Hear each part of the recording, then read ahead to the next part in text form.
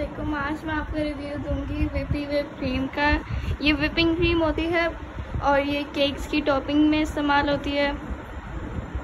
तो हम लोग इसको खोल के देखते हैं कि इसका टेस्ट कैसा है। ये अंदर से, ये ऐसी होती है वाइट कलर की। हम लोग थोड़ी सी निकाल के देखते हैं। ये ऐसी होती है।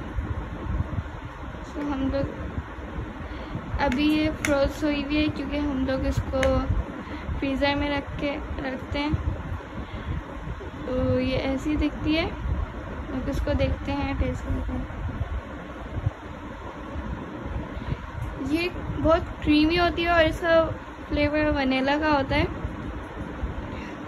इसको जब हम लोग वो बीट करते हैं तो ये इतनी ज़्यादा अच्छी बीट हो जाती है कि हम लोग अगर अपना बाउल उल्टा भी कर दें तो फिर वो गिरती नहीं है। तो ये आप लोग को अगर बाय करनी हो तो फिर बेक हाउस आप लोग से बेक हाउस से आप लोग ऑर्डर कर सकते हैं ये।